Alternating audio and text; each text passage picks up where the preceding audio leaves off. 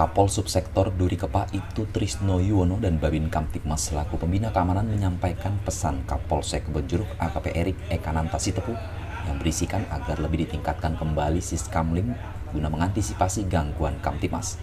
Lalu bersama dengan personil Polri menjadi jembatan warga dalam pemecahan masalah di lingkungan serta bijak dalam menggunakan media sosial terutama adanya isu hoax, ujaran kebencian dan radikalisme.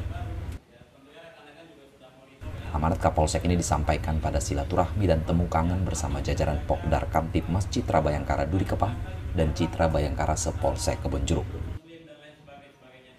Dari Jakarta, Tim Liputan Tribrata TV, Salam Tribrata.